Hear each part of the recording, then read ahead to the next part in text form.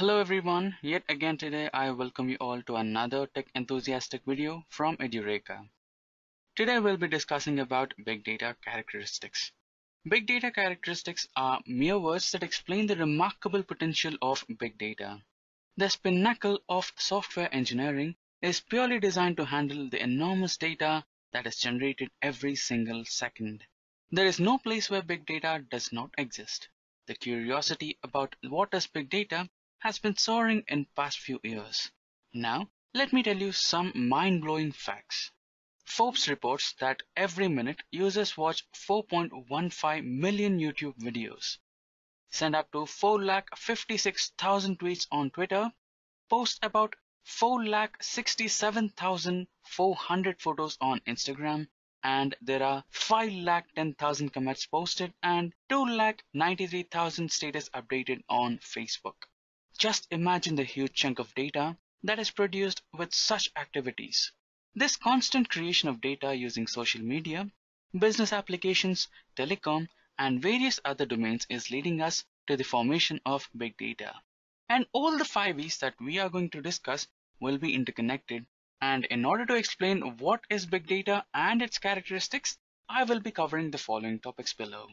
Firstly, we shall deal with what is big data Followed by that, we shall learn the types of big data and then the key topic for today's discussion, that is the characteristics of big data, which are namely the volume, variety, veracity, value, and finally the velocity. So all these five are known as the five V's of big data, which describe the exact characteristics of big data. Followed by the characteristics, we shall learn about the applications of big data, then the advantages of big data, and finally, we shall wind up the session with knowing the companies that are hiring the big data developers. Now without wasting much time, let's quickly begin with our first topic. Before explaining what is big data, let me begin by giving some insight into why the term big data has gained so much of importance. Well, when was the last time you guys remembered using a floppy or a CD to store your data? Let me guess, you had to go way back into early 21st century, right? The use of manual paper records, files, floppy and disk have been become an obsolete. The reason for this? The use of manual paper records, files, floppies and disks have become an obsolete. The reason for this? The exponential growth of data. People have begun storing their data in relational database systems, but the hunger for new inventions, technologies, applications with quick response time, and the introduction of internet, even that is insufficient now. This generation of continuous and massive data can be referred to as big data. There are a few other factors which characterize big data, which I will be explaining in the session later. Forbes also report that there is a 2.5 quintillion bytes of data created each day at our current pace. But that pace is only accelerating. Internet of Things is one such technology which plays a major role in the acceleration. 90% of all data today was generated in the last two years. I hope now you had a brief understanding about the amount of data that we are dealing with. Now let us go ahead and understand and define what is big data. So before I explain what is big data, let me also tell you what it is not. The most common myth associated with big data is that it is just about the size or volume of data, but actually it's not. It's just not about the big amounts of data being collected.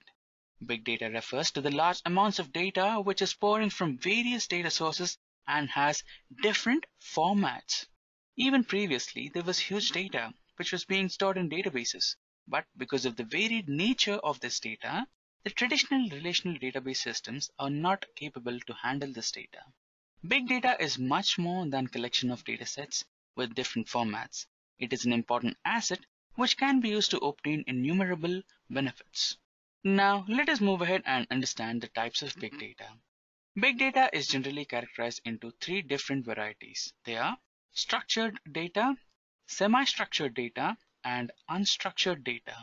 Now let us understand the first type which is the structured data. Structured data owns a dedicated data model. It has a well-defined structure.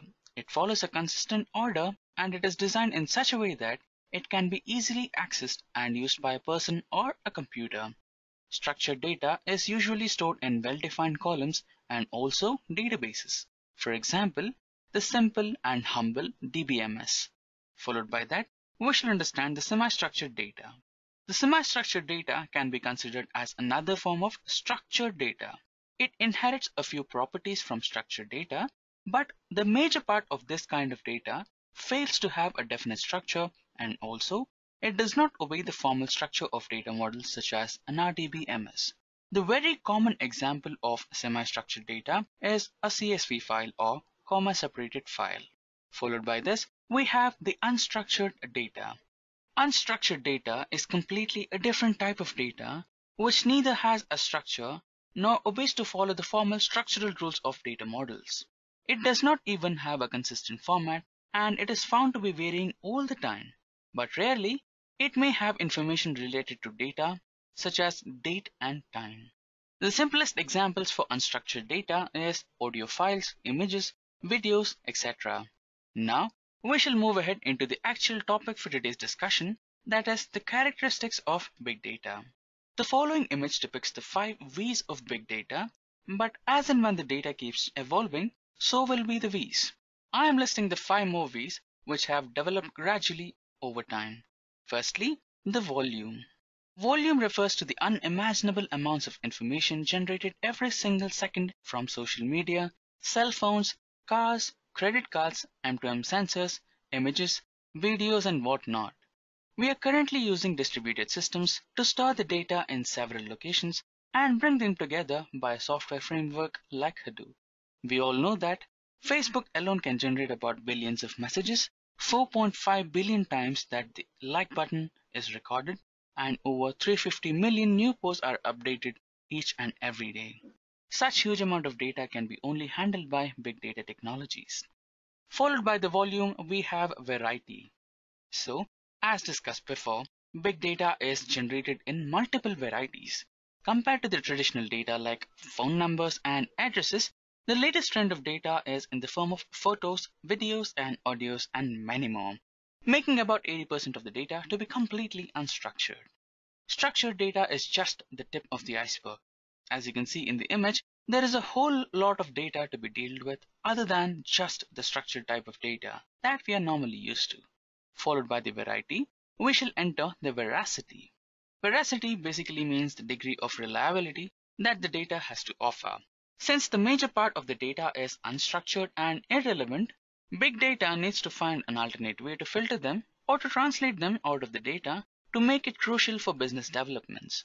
Followed by veracity, we shall now enter into the value. Value is the major issue that we need to concentrate on.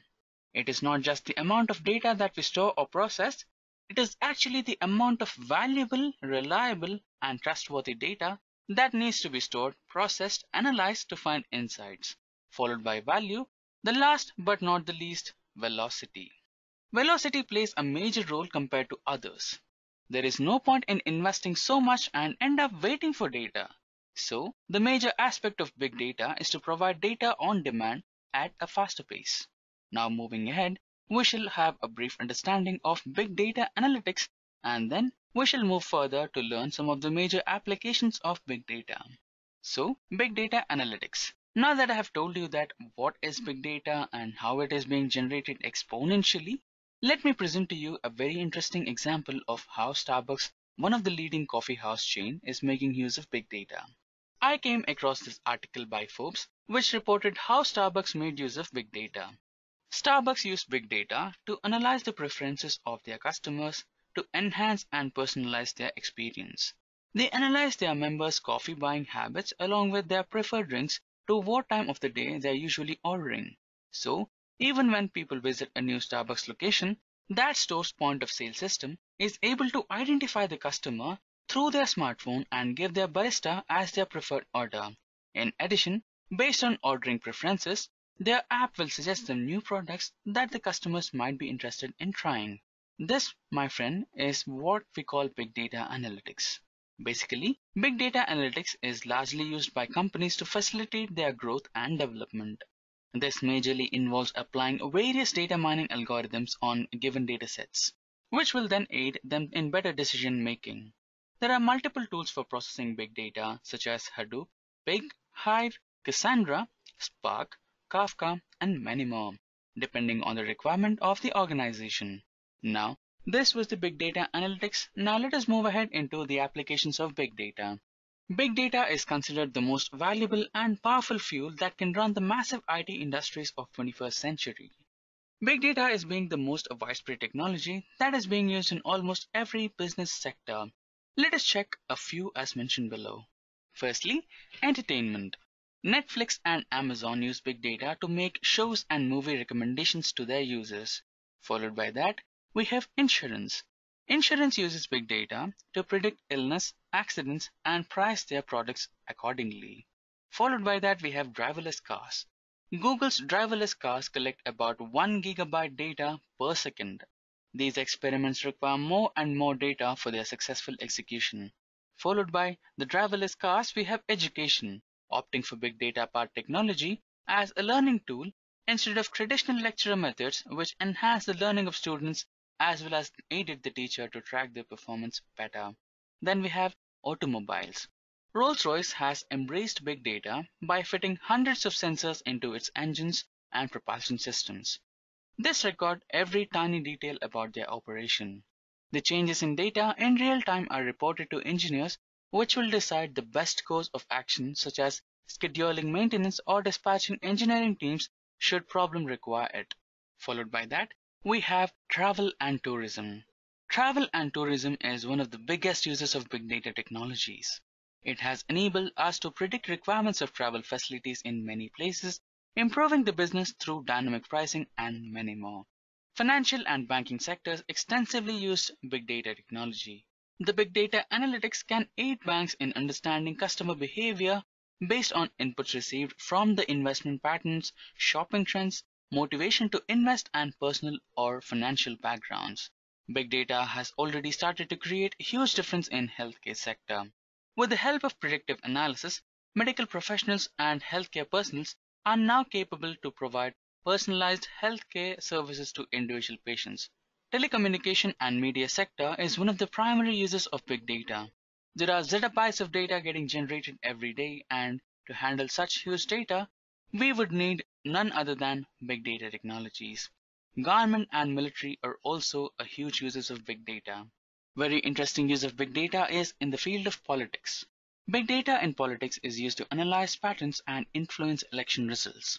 Cambridge Analytica Limited is one such organization which completely drives on data to change audience behavior and plays a major role in electoral process. Also, on the other hand, if you consider the amount of data government generates on its records and also in the military, a normal jet fighter plane requires to process petabytes of data during its flight. So these were the few applications of big data. Moving further, we can understand the scope for big data. Now, the first amongst the scope of big data is the numerous job opportunities. The career opportunities pertaining to the field of big data include big data analyst, big data engineer, big data solution architect, etc. According to IBM, 59% of all DSA or data science and analytics job demand is in finance, insurance, professional services, and IT. Followed by the numerous job opportunities, we have the rising demand for analytics professional. An article by Forbes revealed that IBM predicts demand for data scientists will soar by 28%. By 2020, the number of jobs of all US data professionals will be increased by 3 lakh 64,000 openings to 27 lakhs 20,000 according to IBM. Followed by the rising demand for analytics professionals, we have the salary aspects. Forbes reported that employers are willing to pay a premium of $8,736 above median bachelor's and graduate level salaries with the successful applicants earning at a starting salary of $80,265 per annum. Followed by the salary aspects, we have the adoption of big data analytics. There is an immense growth in usage of big data analysis across the world. The following image depicts the growing market revenue of big data in billion US dollars from the year 2011 to the year 2027. Now that we have finished discussing the scope of big data in future, we shall move ahead into the advantages of big data. The few and major advantages of big data are Big data has enabled predictive analysis which can save organizations from operational risks. Predictive analysis has helped organizations grow business by analyzing customer needs. Big data has enabled many multimedia platforms to share data. Example, YouTube, Instagram, Facebook, and many more. Followed by that, medical and healthcare sectors can keep their patients under constant observations. Big data changed the face of customer-based companies and worldwide market. Now, we shall move into the next topic and learn about the companies that are hiring big data developers. There are many companies that are looking for big data developers, out of which the crucial and major MNC companies are Oracle, Medium, Amazon, SAP, Dell, Cognizant, CSC, Capgemini, Accenture, Mphasis, CGI, Facebook, and many more. Now we come to the end of this session. I hope you had a very good briefing of big data characteristics.